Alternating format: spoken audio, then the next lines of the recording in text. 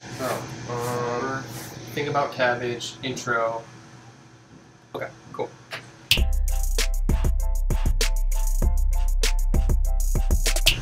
Hi guys, we're back at Cornell Farms Cafe. I'm Daniel Escalle, and today we're going to cover a little bit about cabbage. So one thing we love here about cabbage is that it's easy to grow, it's relatively inexpensive, and honestly we have some great farmers who get us a really awesome product. Um, so today we're going to go over something that we like that's unique to us a little bit um, and kind of cover it more as cabbage as a condiment rather than as a main portion of the dish. Um, so we're going to cover curtido. Essentially, curtido is just like a condiment that um, Latin America uses on generally everything, everything from quesadillas to uh, tacos to pupusas. It's kind of a catch-all. I'm going to give you a little base recipe today, but I think we can elaborate it on it a little bit more. You can add things like pineapple, mango, papaya, things like that to give it some brightness and sweetness and make it a really nice summer condiment. So let's get started. Alright, so we're going to get started with just a little bit of shaved cabbage. All of the quantities that we're going to be using for this recipe are going to be down low in the description. A couple of jalapenos and a couple of serranos. We like our food spicy here, so we, we use a little bit more, but you can dial that uh, amount back. It's really just up to your personal preference.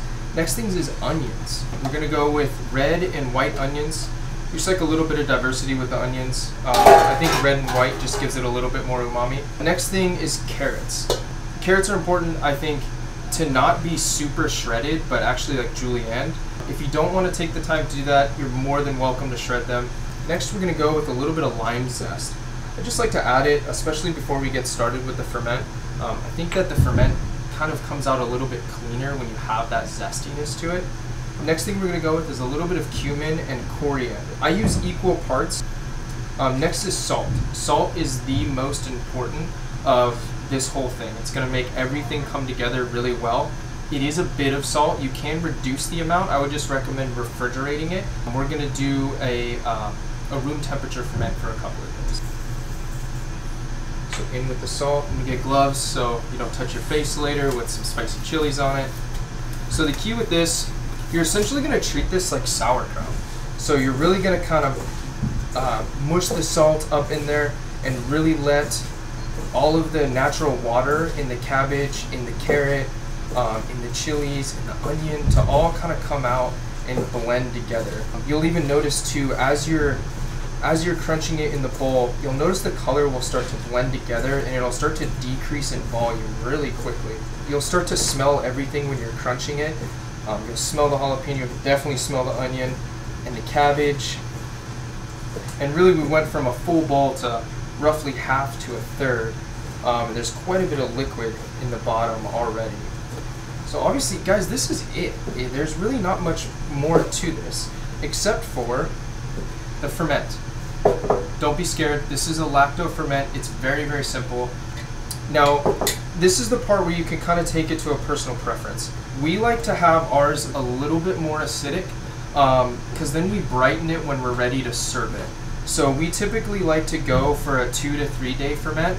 Um, right now it's about 62 degrees down here, I think, roughly.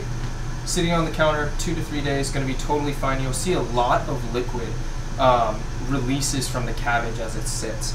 So I just like to take a nice, excuse me, uh, nice clean sterilized jar and uh, a brand new lid. It's really important. It's a brand new lid, so it's not uh, doesn't have anything in it. And we're just gonna pack the contents into here.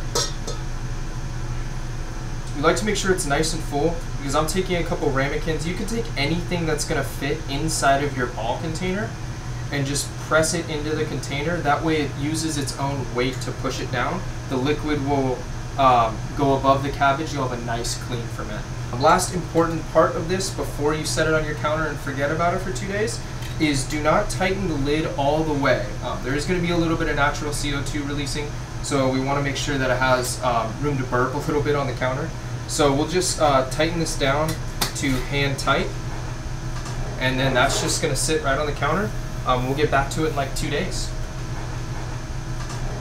Alright, so it's been a couple days now, and uh, we made a larger batch, but we wanted to show you guys the final product. So there's quite a bit of liquid that's released in here, and it actually goes above the level of the cabbage. You'll see that as it sits on the counter inside of your jar. And this is the final product. We do exactly this. We just add a little bit of pineapples just to sweeten it up, add a little lime juice and a little sugar, and it's awesome on everything.